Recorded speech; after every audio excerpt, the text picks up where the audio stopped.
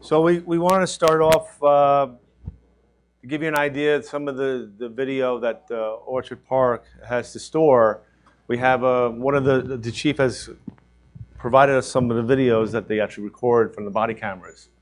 So I think we can kind of get a- an interesting feel. Uh, If you let them know what this is, uh, this, I brought in, uh, my name's Mark Pacholec, I'm the chief of Orchard Park Police. Um, video we're gonna show is a typical traffic stop. The individual, uh, is Mr. Brinson, he was a former Buffalo Bill, we have the Bill stayed in our town, fortunately. But you get to see the type of individuals we deal with on a regular basis. So, um. I just want to say I've never been to Buffalo, so if any of these people want to meet me. Good qualifier, good qualifier. Turn that up some.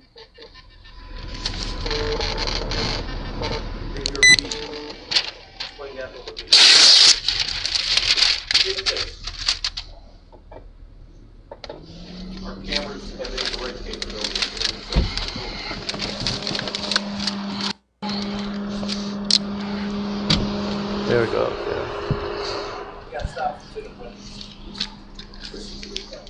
All right, Mr. Brinson, I wrote you for the tent. I know. I'll get off of it. I know. All right, What is it? I know. You already know how. You know how it works? Yeah, yeah. I mean, normally I just have a guy comes in or whatever. I just pay it. It's a hundred bucks change to me.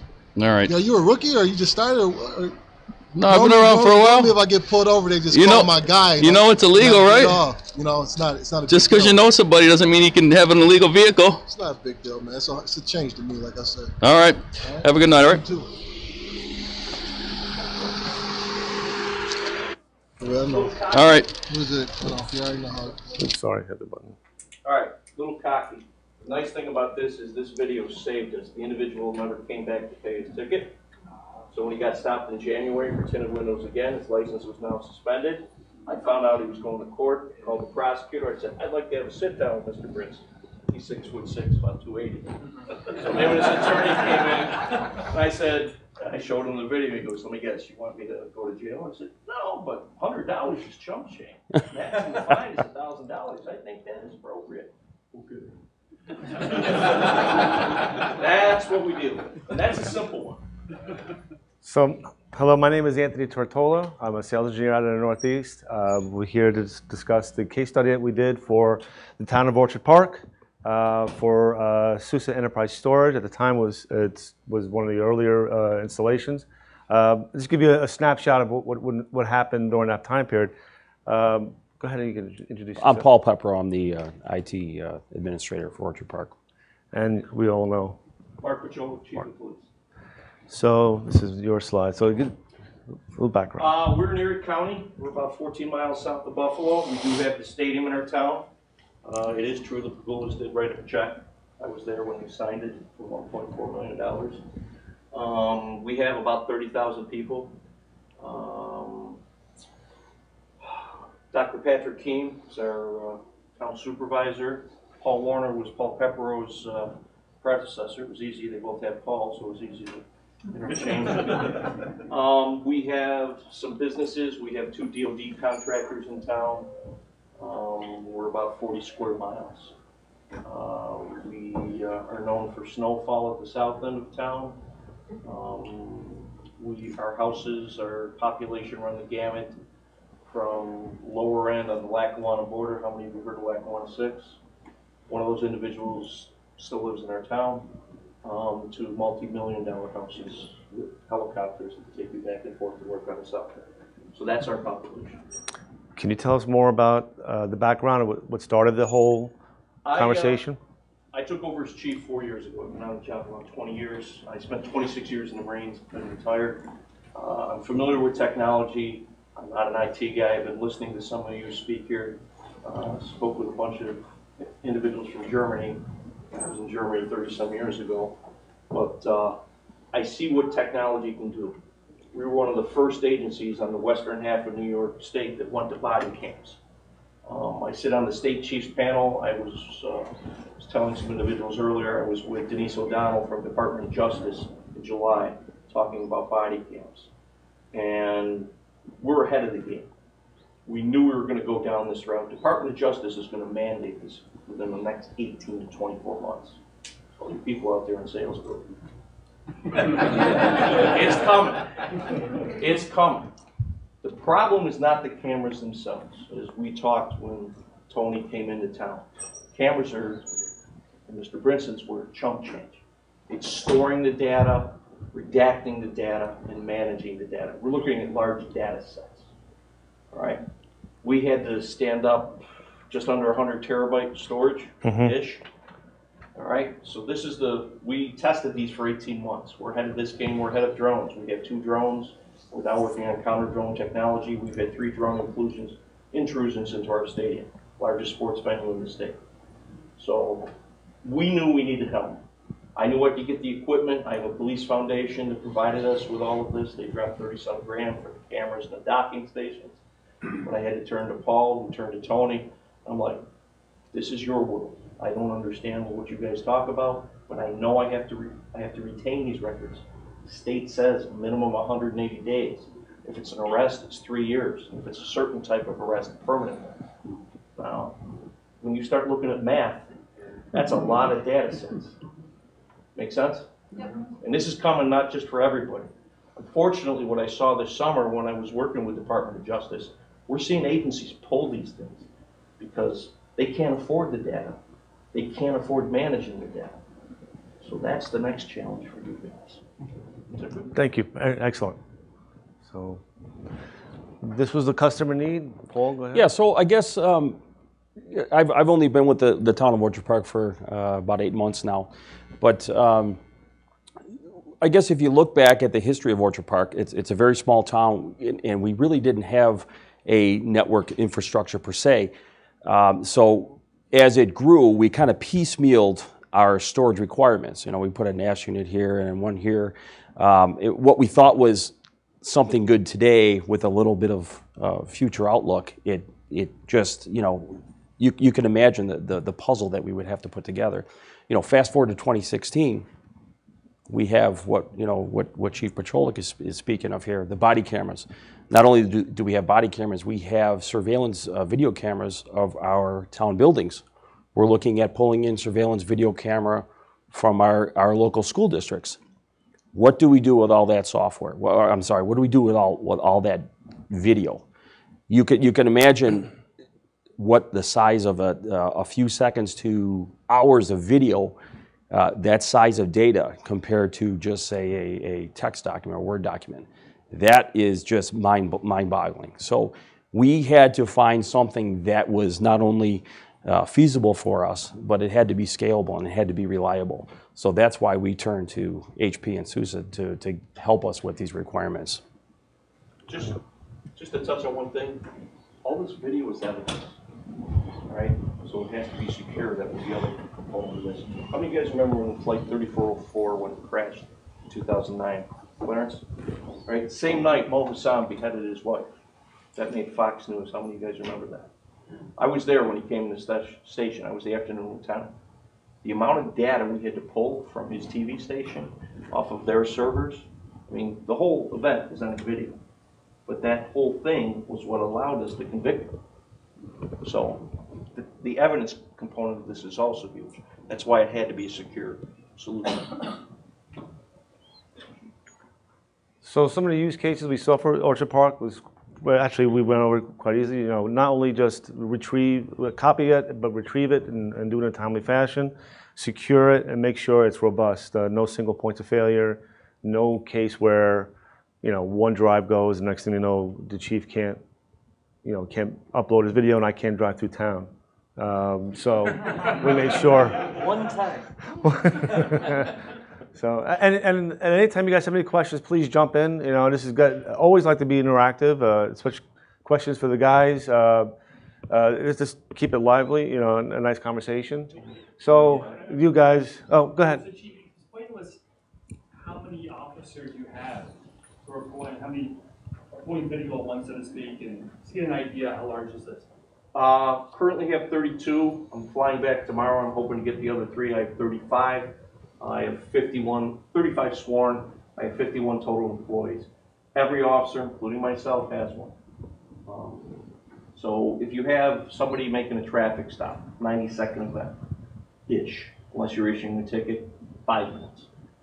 Officer makes ten traffic stops or has ten citizen contacts a day. It's not just traffic stops, it's EDPs. You're talking a large data set on a daily basis. Does that answer your Yeah, question? thank you. Ma'am? Ma'am. Chief, I have a question. So you've been hearing a little bit here and there from uh, other police departments that potentially the budget, because of this impact of storage, could affect budgets for officers on the street. Absolutely. So this would impact, so the, it's not necessarily one cause the other, but the money that you save, that actually pulls from the same budget potentially for your other three officers. I'm going back to fight a budget. My budget uh, is about eight million dollars a year-ish, plus or minus. a And that's dollar. encompassing of all IT officers. No, that, that's just police. IT has their own. That's separate not the budget. IT, yeah. Got it. Our, our town budget's approaching thirty million dollars. Okay. Um, I'm the biggest component of it. Um, the panel I sit on for the state, uh, I've seen agencies as large as hundred fifty. Greece, Pat Phelan pulled all his car cameras and video cameras out, uh, and body cams because he couldn't manage it. When I first put this into play, I started moving this way in two thousand fourteen, I told them, I need a sworn officer, it's typically a captain or lieutenant, to manage the evidence. I brought them all the case studies, brought them all the, you know, best practices of everything. They agreed, they approved it, and the next day they said, stop. We were fifteen minutes into the interviews for patrol captain, they said, we don't have that hundred fifty with benefits and everything to pay him. I go, okay, my assistant chief's gonna do it. Well, no, he needs to do his job. I go, I don't have a choice, we've already started, we opened the box. So Indianapolis, if you guys wanna go back, look online, uh, Indiana took their retention period, it was nine, 90 days. They bumped it to four years.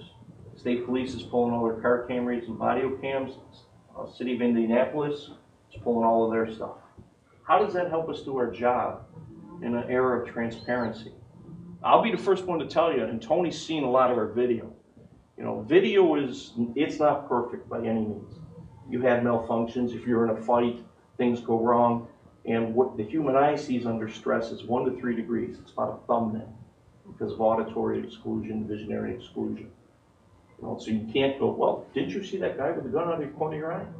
Not a fucking chance. I was looking at the guy three feet away from me with a knife about to stab me. You told me to limit to five F bombs, so I got four. Paul. Chief, the, uh, how much more time does this take for an officer to be able to document all this stuff? They finish a shift, they doc this thing, do they have to go back and? The, the individual officer is easy. All right, working with Tony and how we set this up, working with Paul and previous Paul, and the company we got them from, Prima Facie, which is, uh, Safety, Winstar. yeah, safety, safety vision. Safety Vision. Um, other agencies went to hot docking, where you'd have to swap them out, and I saw the, the boondoggle they went through, so we bought one for every officer. You take it, you put it, it's about the size, a little bit smaller but thicker. You take it, start of your shift, clip it on either to your shoulder or your center, you use it, you come back, you download it. You then have about ten or fifteen minutes for the end of your shift. If there's something you want flagged, hey, chief, assistant chief, lieutenant, save this, this was an arrest, I'm gonna need it. Then it gets moves into a secondary storage unit. Or, this guy said I was a flaming butthole, you're gonna get a personnel complaint. Save. Now, here's where body cameras have come into to play. A lot of people, we probably get six to eight personnel complaints a month. Ninety-nine percent of the time, they're bullshit. There is that one percent where our officers did wrong, and we're human too. We have ten percent just like anywhere else. We need to fix that. But when an individual comes in and makes a claim and they put it in writing, now it becomes a crime. Because then I can pull up the camera and go, oh, so you, my officer called you a beep. Yeah, let's look at this. Officer, I don't have time for your beep, beep. Oh, I didn't mean it. Sorry, I want to go. No, you're under arrest now. You, you filed a written statement. So, it's a misdemeanor in New York State. So it doesn't take a lot of time for them. What kills us is when we get requests, which we're gonna cover. Okay. You know, you gotta down those requests under a Freedom of Information Act. That's what kills us. If we're sending it to the courts, we don't have to redact it. They're law enforcement. I don't understand. Go ahead, Paul. This, this is a, this is a slide on the camera. Make sure I shut them both off. There you go.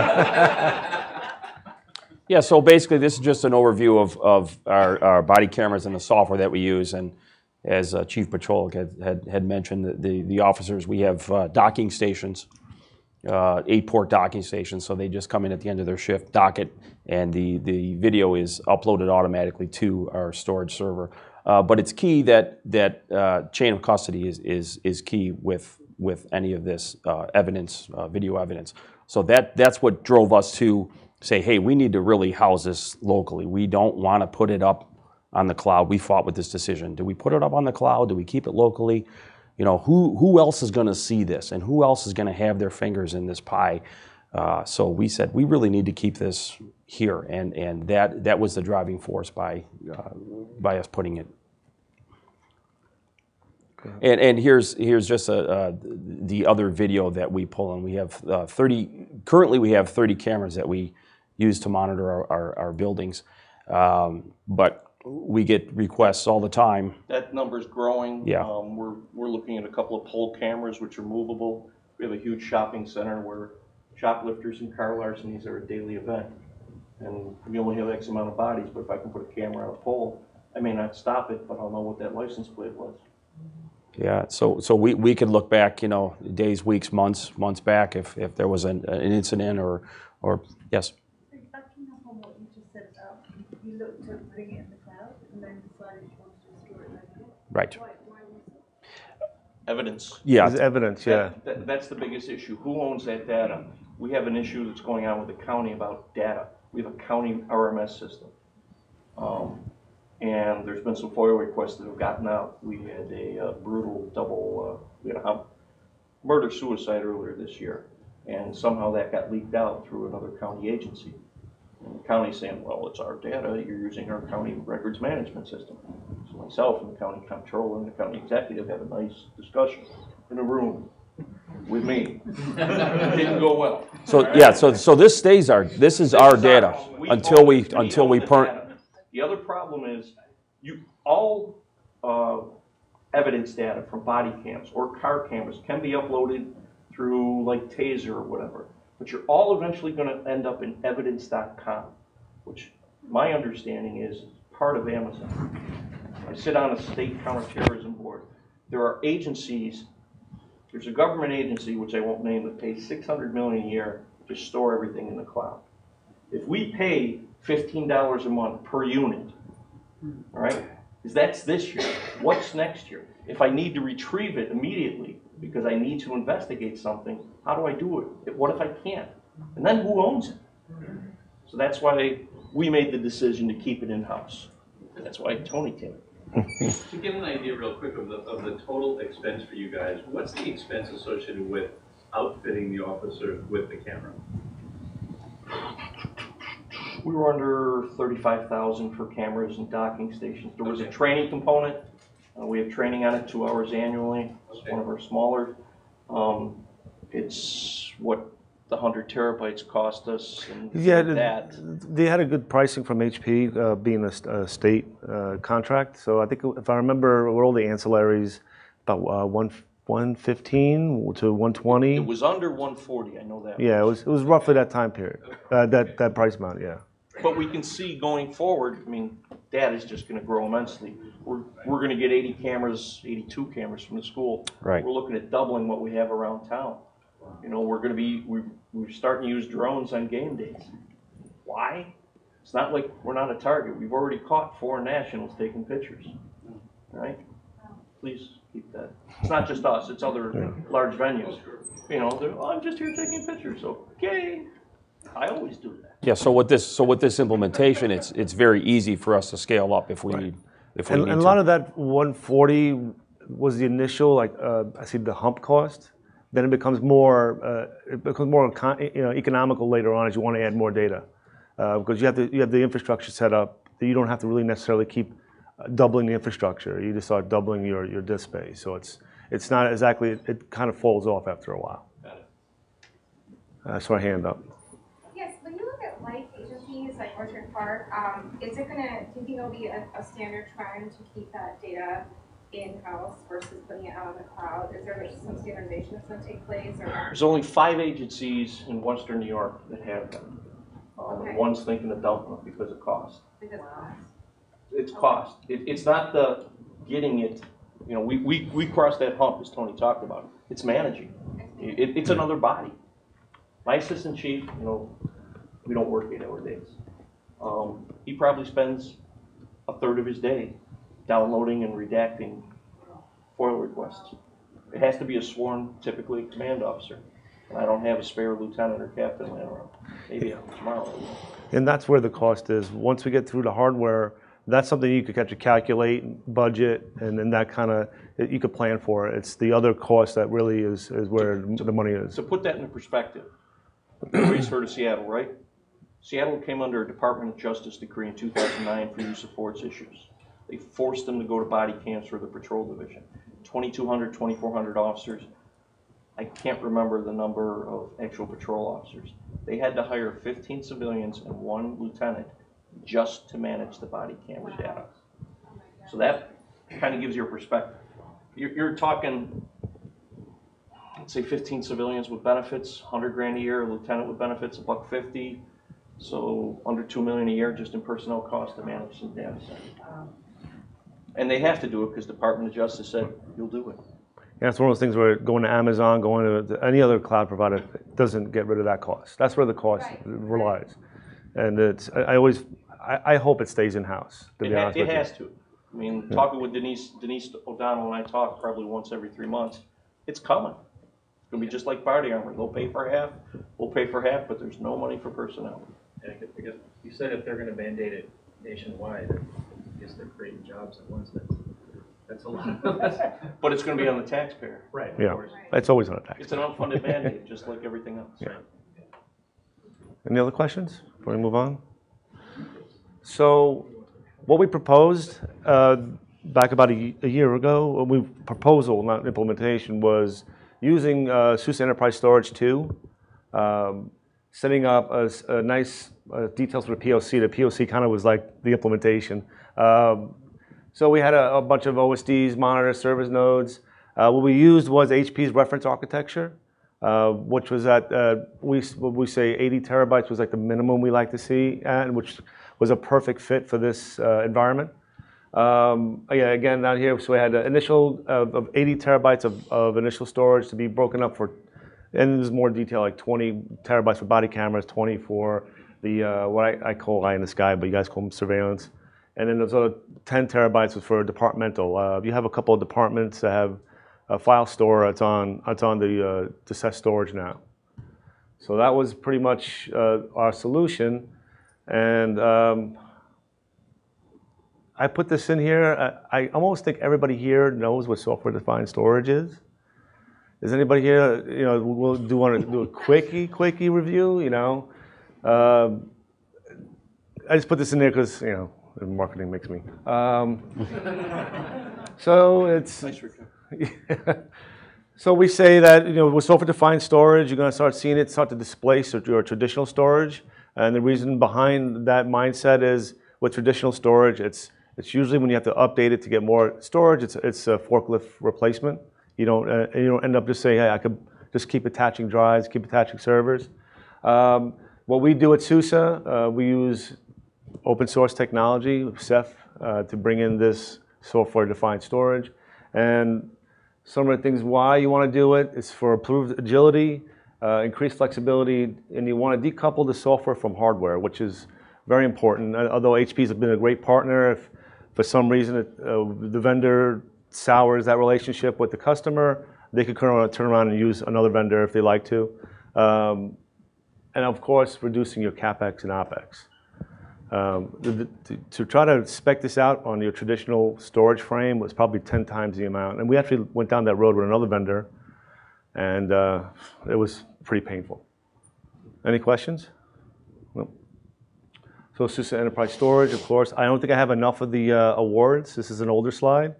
This is what happens when you submit uh, two months in advance. One of the, it's funny, uh, we have a, our competitor who actually went out and, and purchased the, the technology, has not won a single award. um, we keep bringing forward the technology in a fast pace and a, reliable pace. So seamlessly adapt to changing business needs and data. As, as, as Chief has said, you know, as time goes on, more and more of these restrictions, these changes in retention policies are going to come up. We have to be able to deliver this in a highly scalable and highly secure fashion. You talk about highly scalable. Again, I love technology. We just stood up a training simulator, first one in the southern part of the county. Uh, Sits right next to Paul's office, so when we start using it more, he's gonna hear a lot of bangs. and Oh, I hit the ground when I hear it. All right. It's a room about this size, uh, the police foundation paid for it. Like police foundation, about hundred fifty grand. What it's gonna allow us to do is bring people in there. Uh, on the twenty-second, I'm bringing some bills in at the request of them, some upload bills. We're having some attitude issues. So we're gonna put them in a situation and see how they react in a domestic, or how they react with a knife coming at them. And see if they shoot somebody and go to jail for thirty years and have a ten million dollar lawsuit. But it's gonna allow our, our officers to make mistakes there so that they don't make them on the street. But guess what we have to do? We have to document that. How do we document it? Video. We already started talking about, you know, we're recording, each officer has done three domestics, he's done four car stops in the simulator. Uh, we bring the guys in in red man suits, once the video is done, we see, red, it's a big foam suit. All right, we see how he did during the arrest procedure. All right, did he control himself? Did he good use verbal skills? That's gonna be a whole nother data set we gotta look at. But it's gonna save us, and it's gonna show to the public, we're doing everything we can. Did you guys put your uh, nine-one-one calls on the system as well, the nine-one-one? Nine-one-one is controlled by the county. They own nine, it's a county-wide nine-one-one system. Thank you, God. We, we average thirty-some thousand nine-one-one calls. Not all of them are totally tracked, because a lot of them get transferred to other agencies. That's, that's a huge set. We average, our call volume of actual documented, we have to respond is thirty-five, forty thousand a year. We're busy. Um, you mentioned something about partnering with the schools, what, what is that initiative? Orchard Park Central School District. Okay. Um, we've had times where kids break into schools. It happens. We've had times where silly things happen, but, uh, the superintendent of the schools, Matt McGarrity's great, great partner, great relationship. They now have video in all of their schools. Right. God forbid, um, one of the FBI academy classes I went to, I sat with a lieutenant from Camden, Ohio. He had that shoot, active shooter situation out there. If we have something like that, I can boom, bring it up on dispatch, Lower East Wing High School. That's where the threat is. Now we can vector our officers there. right? And in that type of situation, first thing we have to do is stop the killing, which means my guys are going hunting. I've made no bones about it. If you come here and you try to harm our kids, we will hunt you down and kill you. I, mean, I hold no issues with that. You try to hurt our kids, we will, we will stop you. But it'll allow our officers to get information from dispatch in real time. Okay, so are you guys managing the storage of that surveillance set? We won't store the school data, but we have to figure out, we were just talking Yeah, about this an hour ago. How do we manage that over, these are IP address, addresses? Yeah, we're, This- we're at the beginning is in real stages of this. Okay, thank you. So one of the great features of our, technologies is truly unified storage. With, what Enterprise Storage 4 we just released, we have the object store, we have uh, block storage, and, we also now have file storage with CephFS, which is very difficult for me to say. Um, so again, we have a lot of, it's, it, it reduces your, your operational expense because now you have one, one technology managing all the different types of storage needs you have inside your environment. And this is what four looks like, and I hope this is the right slide because again, this is two months old. So these are all the things that we've done with inside of four, which was released yesterday or today. Um, again, everything you need from top to bottom as far as infrastructure and services is inside of, I actually want to, I'm trying to get to the, the slide where we actually show what the, the solution looks like, because that's the one I'm, I, I'm most proud of. Any questions before I jump in, please? No? Okay. So yeah, again, Ceph is what we build it on. It's the most popular OpenStack uh, storage backend. Uh, a lot of people know that. Everybody thinks maybe Swift. Uh, we do. uh, It's for one of the most cost-effective, I think we're down to, uh, actually David would be able to tell me, cost per gigabyte per month is typically, It's around a dollar. it's around, yeah, it's, I was gonna say it's a dollar, or it's just under a dollar. For, for us, it's around thirty cents. Okay. More or less. Cost of acquisition. Right, right. Yeah, so, uh, per gig per month, you know, the goal is to be under a penny per gig. What do you mean goal? Because DOJ's, that's on their So horizon. it, it depends on the exact hardware config that you use. Right. So What does that mean to the end user? But, so depending on the system, you can get it down to, I've seen it as low as 0.008 cents per gig per month. That's something you might want to look at, having discussions with DOJ on. Right. They're moving into the next phase of this within a year and a half. two It's years. one of those things where as technology advances, generally when the advances, it also becomes cheaper. So that starts lowering the That makes cost, yeah. So again, so this is what, a nice little eye chart. So this is what it looks like on a technology level. So you have your client servers at the top, either Windows, Linux, or Unix. You have applications using Swift or S3. So if you have applications that you are already leveraging Amazon with S3, this plugs right into it. There's a, I don't, I'm not sure, I'm not a developer, so I don't know exactly what it would take to point it to ours, but I know it's really not, it's not heavy lifting. And of course, now you have the file share with CephFS. Uh, At the very bottom, you'll see that we have this, the storage servers. That's where, that's uh, where the actual storage happens, where the, the, the data's resided. Then you have the monitor servers. That's where the servers do all the, what's called the crush algorithm, uh, the placement maps, so the brains of uh, the storage array resides. And of course, all in the middle is Rados, is the technology that, that binds it all together. And you can see here how many code developers there are, and these are our partners, or, or not our partners, but people actually coding to Ceph. Um, and you see it really covers the gambit of storage and, and hardware vendors and OS vendors. Any questions? This is my favorite one here. You get the CERN Labs. Being a little bit of a nerd, seeing that there, I love that there.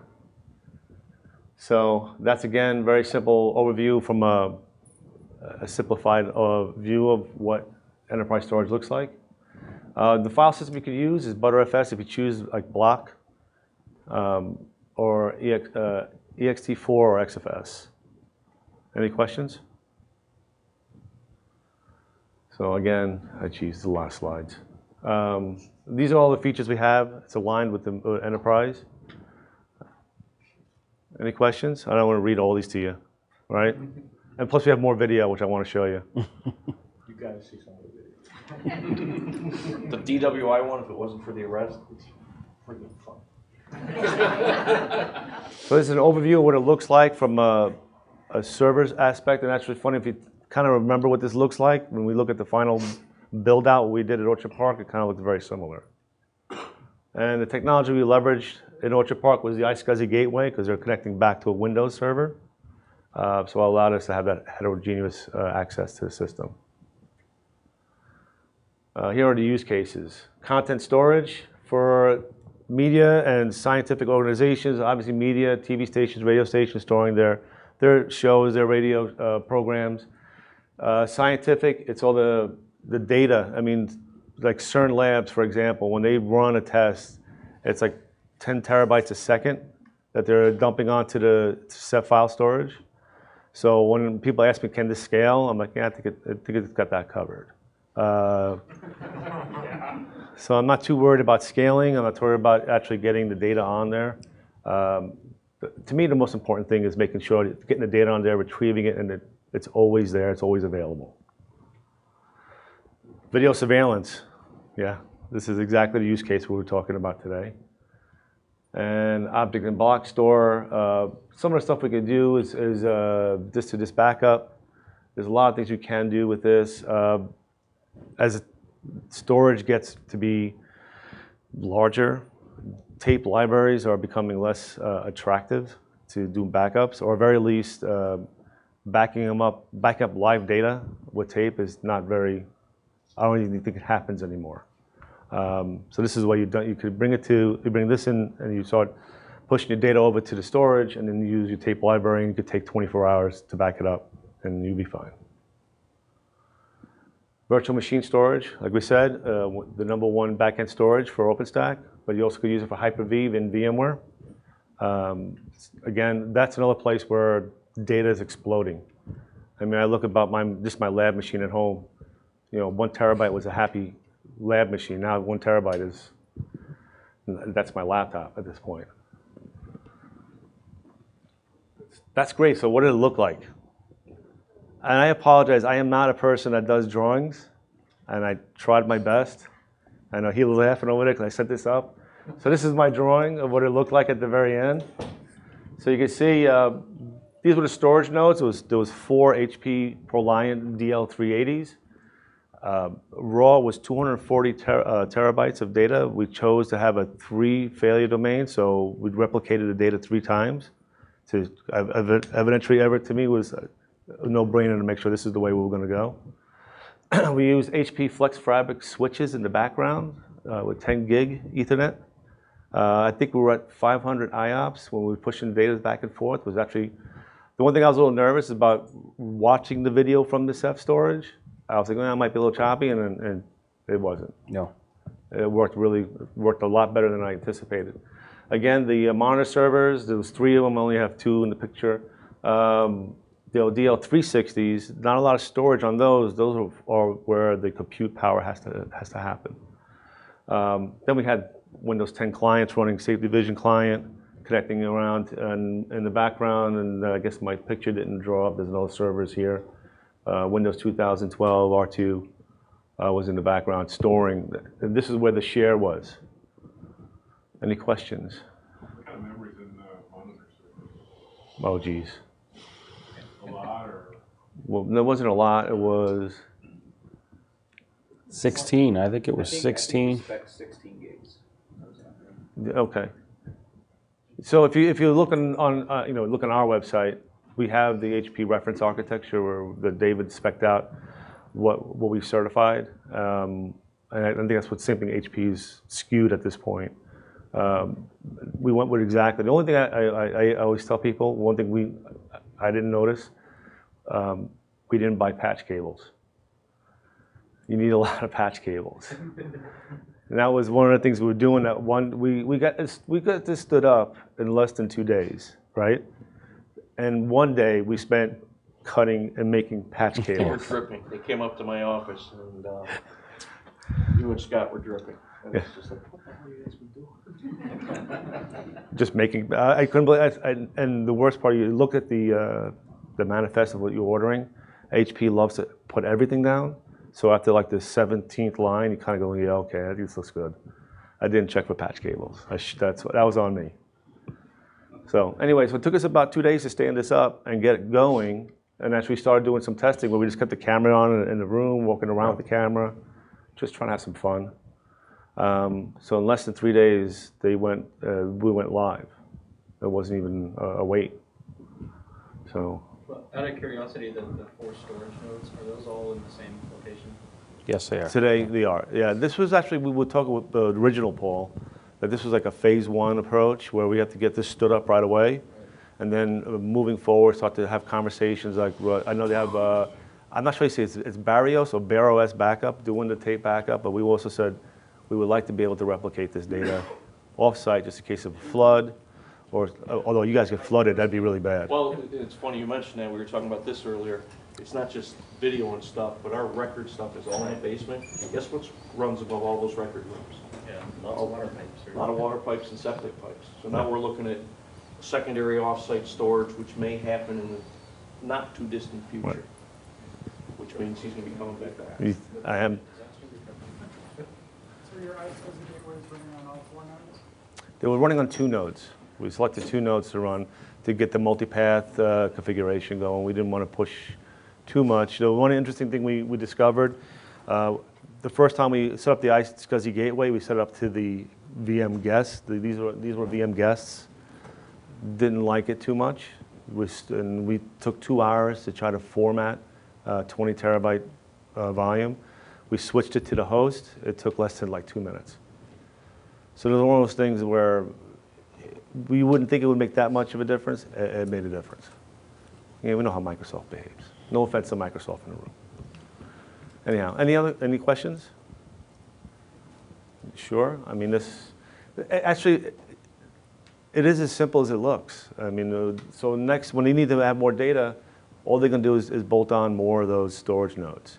Like all this stuff down here stays the same.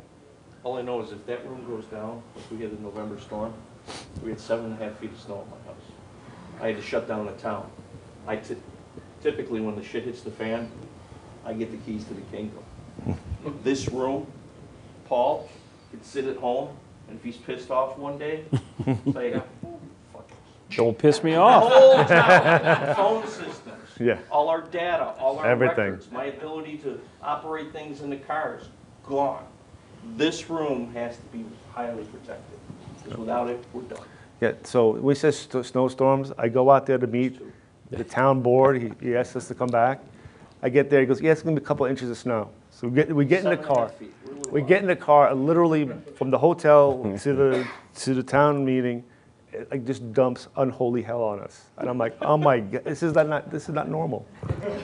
I got pictures of, your actually video of my kids skiing off my roof. They're on my phone.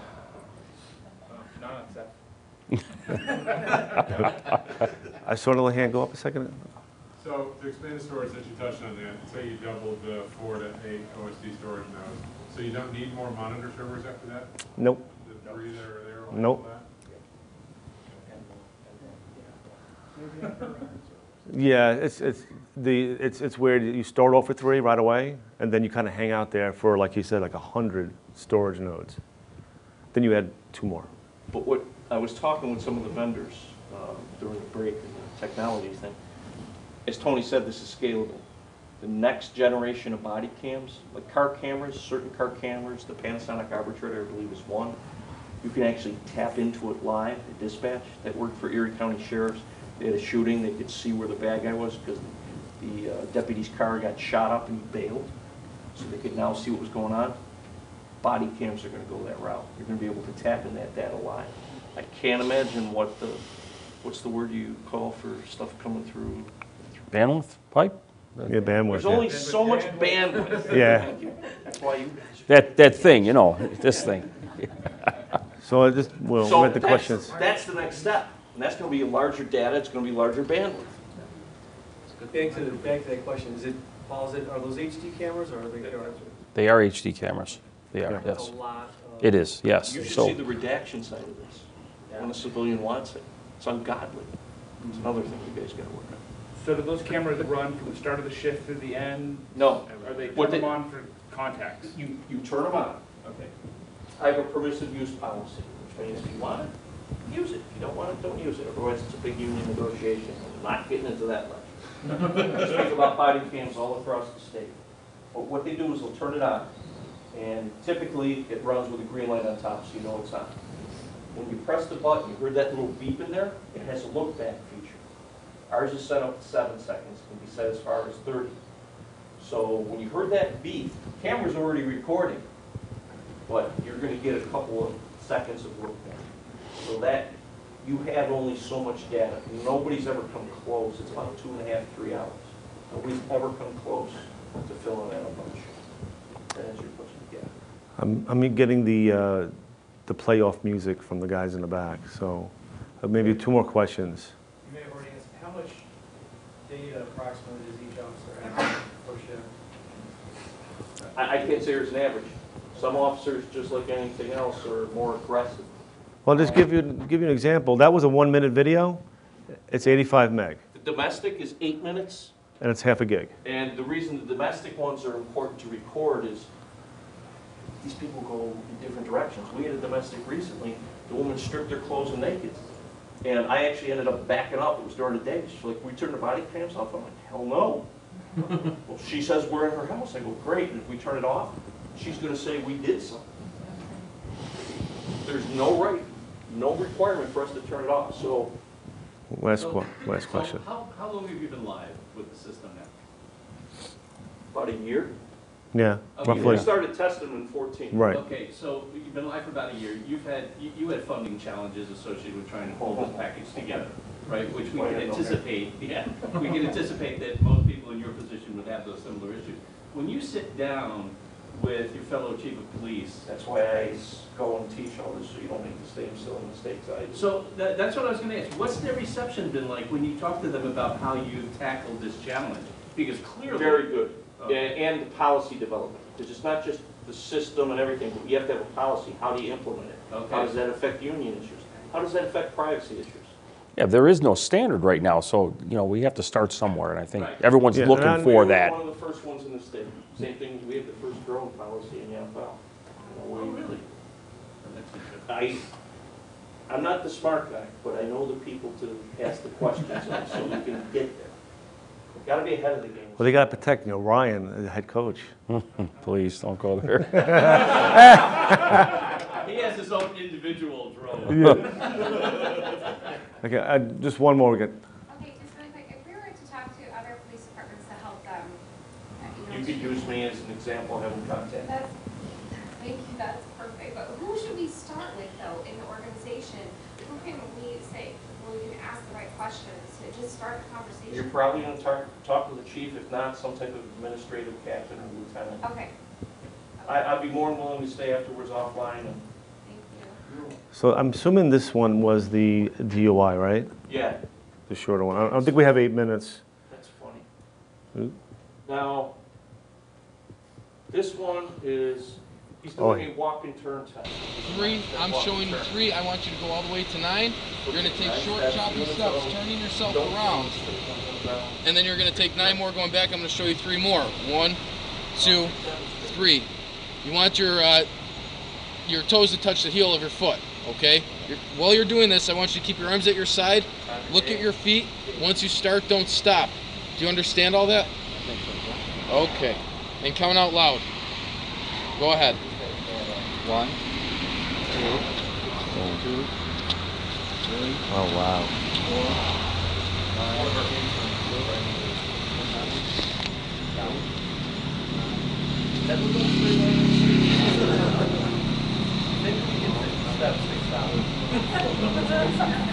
He's trying to get away. I told you, if it wasn't the, the CWI, I was very pretty good. Am I retired? I'm retired. I've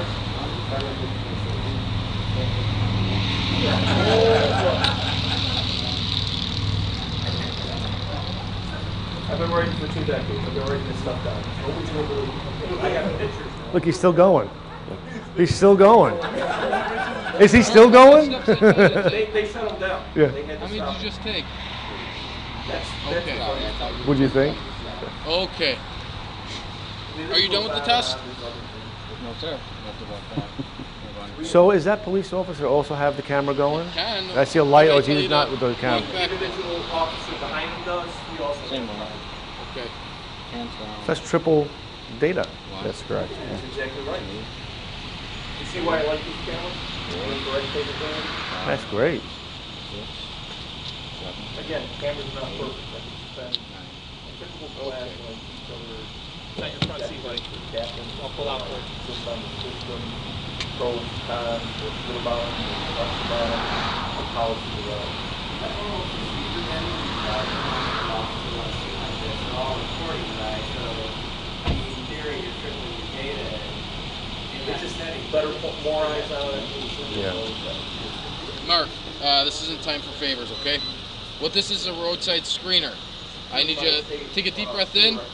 and exhale into the straw.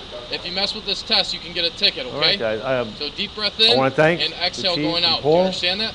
that was a great Okay, session. go. Um, we're, Then you get a oh, I'm here all week. Uh, If you run into the hallway, Okay, And we're turned on, so you're- know. you're